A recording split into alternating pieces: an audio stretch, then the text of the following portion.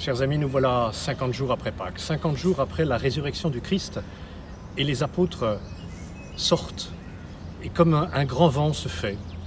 des langues de feu descendent sur chacun d'eux, et ils se mettent à parler et à raconter les merveilles de Dieu.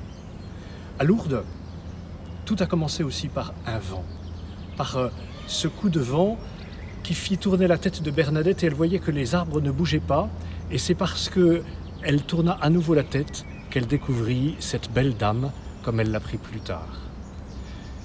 L'Esprit Saint nous invite aujourd'hui, à la suite de Bernadette et à la suite de Marie, à proclamer les merveilles de Dieu. Lorsque Marie a reçu l'annonce de l'ange qui lui disait que l'Esprit Saint viendrait sur elle pour qu'elle puisse concevoir en son sein le Fils qu'elle allait mettre au monde,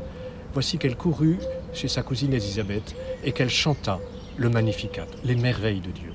L'Esprit Saint, c'est celui qui nous permet de chanter avec Marie les merveilles de Dieu, de le louer,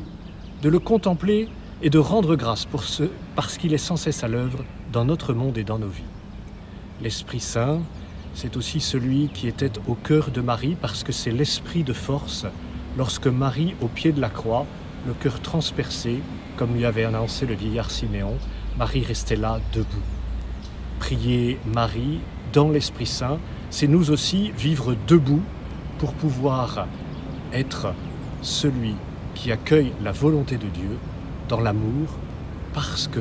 l'amour ne passera jamais.